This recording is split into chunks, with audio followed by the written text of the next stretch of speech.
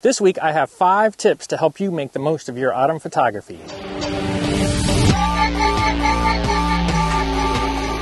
So when autumn comes around, it can be a great time for photographers. You get the pops of the fall color, the hot days of summer are starting to pass, and there's just a little bit, of, that little bit of chill and excitement, and it's a really great time to get out and start, you know, photographing the colors and everything around you.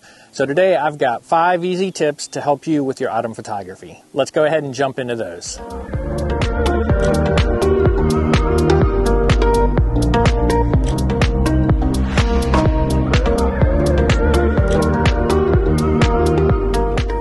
So, tip number one is don't wait for the perfect time.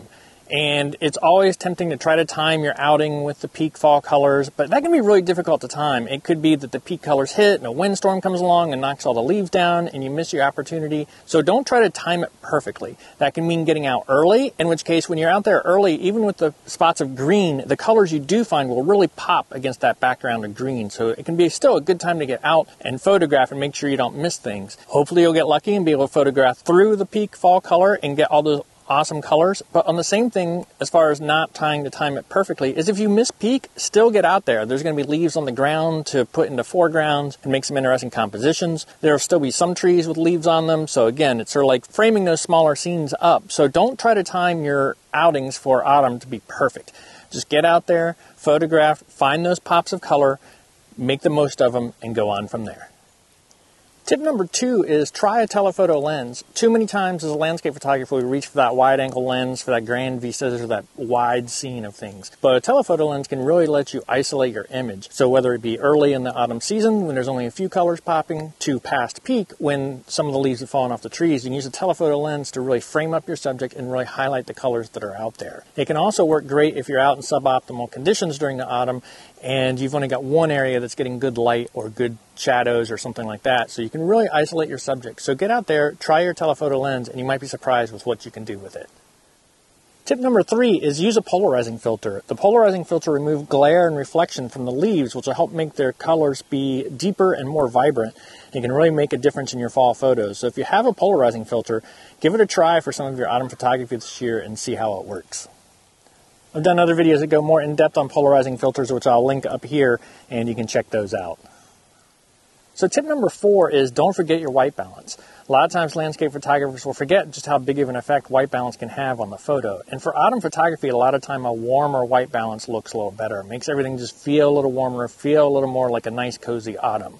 So you can either set that in your camera, set it to something like cloudy or shade or something like that and see how it looks. Or if you're shooting in RAW, you can make adjustments in post-processing and warm things up.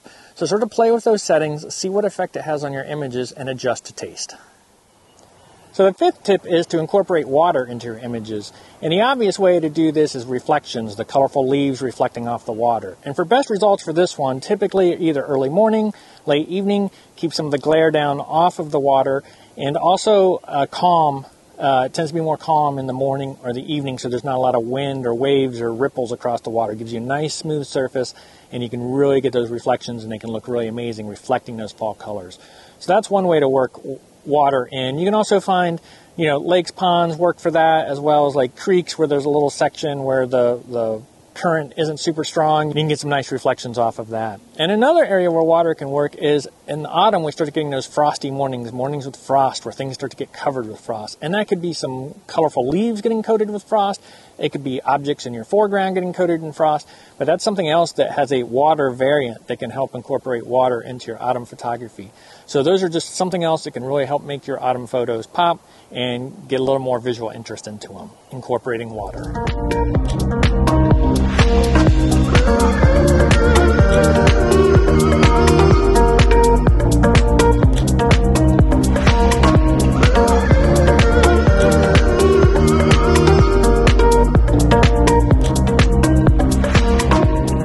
That's it. That's my five tips for making your autumn photography a little better this season. So get out there, start practicing those tips, and let's see some of the photos you get. Like I say, if you found this information helpful, please be sure to hit that like button. And if you want to see future landscape photography content from me, including little tips, tricks, mini gear reviews behind the scenes, be sure to hit that subscribe button so you don't miss any landscape photography content from me in the future. And thank you for watching.